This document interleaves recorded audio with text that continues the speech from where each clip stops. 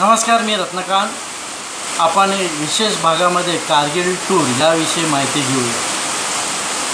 खरं तर काश्मीरमधल्या अन्य भागांप्रमाणेच कारगिलचा परिसरही अप्रतिम निसर्ग सौंदर्याने नटलेला आहे.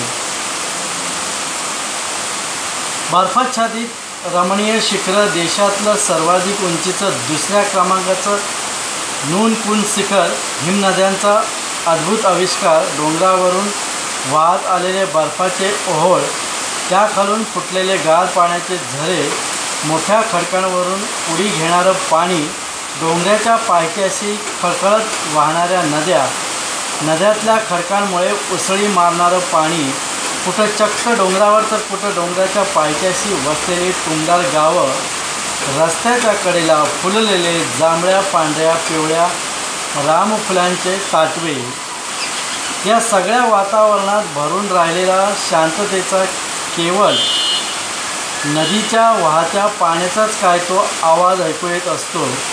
आपल्या डोळ्यांना कारगिलमधल्या खळखळत्या पांढऱ्या शुभ्र नद्या पाहून सुखद धक्का बसतो. कारगिलच्या पर्यटनाचं एक वैशिष्ट्य म्हणजे इथं साहसी पर्यटनासाठी असलेला मोठा wow. Trekking camping cycling biking river crafting rappelling horse polo प्रस्तरारोहण ice hockey speed skating snow skiing आदी साहसी क्रीडा प्रकारांसाठी कारगिलचा परिसर उत्तम आहे. लेह लडाख कारगिल हा मार्ग आव्हानात्मक असल्यानं बायकर्सची त्याला मोठी पसंती असते. गेल्या तीन वर्षापासून कारगिल आंतरराष्ट्रीय मॅरेथॉनमुळं कारगिलची नवी ओळख निर्माण झालेली आहे. कारगिल परिसरात पाहण्याकरता इतिहास संस्कृती निसर्ग साहस सामाजिक वारसा स्थळं यांमुळे या भाग हा भाग बहुरंगी झाला आहे. इथल्या पर्यटनाचा मुख्य हंगाम जून ते सप्टेंबर हा असतो. पर्यट पर्यटनावरच इथल्या बहुसंख्य लोकांचा उदरनिर्वाह अवलंबून असतो. तेव्हा सुरक्षेबाबत कोणतीही शंका न बाळगता पर्यटकांनी इथे यावं असा प्रयत्न स्थानिक व अन्य राज्यातले टूर ऑपरेटर करत असतात.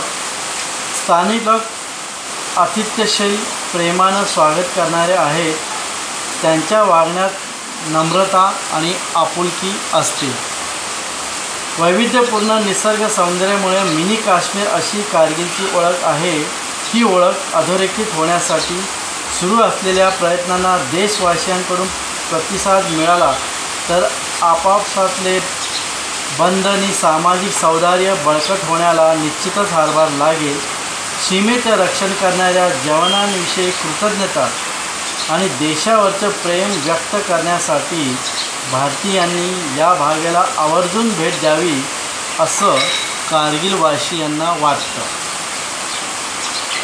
राज्य सरकार पर्यटन व्यावसायिक खाजगी संस्था आणि सेवाभावी संघटना यांच्या पुढाकारानं कारगिलचा कायापालट करणारं हे टूर कारगिल यशस्वी व्हावं हीच अपेक्षा आहे. तेव्हा बंधू आणि भगिनींनो तुम्ही परदेशात जाण्यापूर्वी आपलं इथलं खरं सौंदर्य भारतातलं सौंदर्य ते म्हणजे मिनी काश्मीर अर्थातच कारगिल.